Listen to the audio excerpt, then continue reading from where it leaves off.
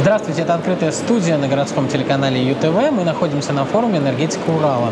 У нас в гостях инженер компании «Вольф энергосберегающей системы» Константин Макроусов. Здравствуйте. Да, здравствуйте. А с чем вы приехали на эту выставку? Что вы представляете? Я приехал на эту выставку с тем, чтобы представить бытовую вентиляцию. То есть идея, а, выставка посвящена электроэнергетике, а наша компания, она занимается промышленным, вентиляционным и отопительным оборудованием. И вот моя идея представить на этой выставке бытовую вентиляцию, которую можно применять в коттеджах. То есть это также позволит экономить и электричество, и тепло. Но у вас э, компания, собственно, энергосберегающая система. Да, то есть, она да, то есть это вся идея энергосберегающая. Вообще, какие сейчас способы сэкономить энергию, вот в том числе и в вентиляции, может быть, еще где-то, которые вы применяете? Ну, смотрите, в общем, я начну с вентиляции. Потому что вентиляция для меня это очень близко и родное. Я специалист по вентиляции.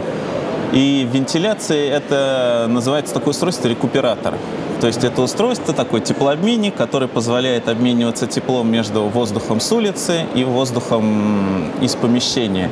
И таким образом тепло экономится. То есть оно не выбрасывается на улицу просто так, как оно есть. Второй способ – это так называемые солнечные коллектора.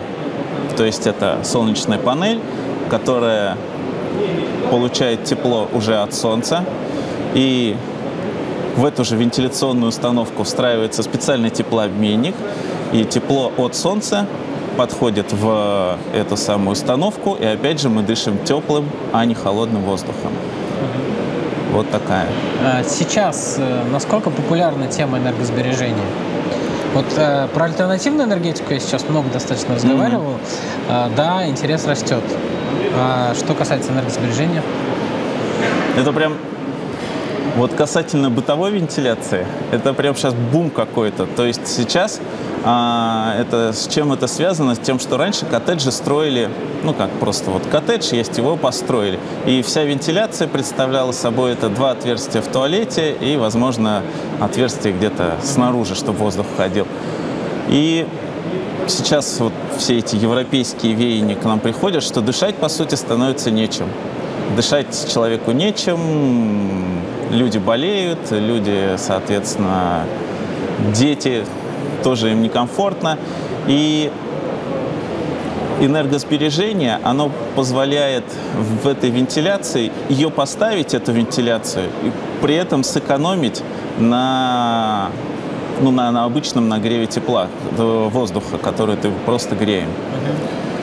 И это прямо сейчас ну, в какой степени это тоже альтернативная энергетика? Да, можно сказать, что это, да, альтернативная энергетика. Это ну, сейчас, сейчас этот рынок в России, он только начинается.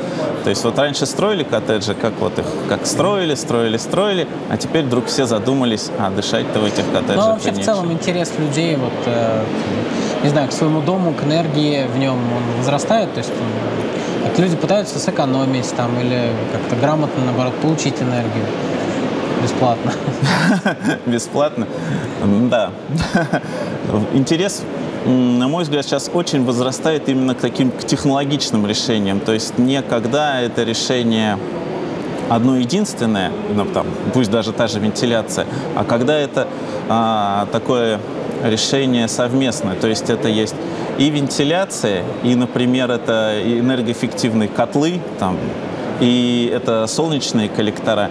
И когда это все связано воедино, это получает вот именно за такими сейчас решениями ну, не гонятся, но, в общем, стремятся заказчики и владельцы современных коттеджей. У нас даже видео есть на Ютубе. Это уж так. А, и там как раз вот об этой системе такой рассказано, совместной, очень интересно.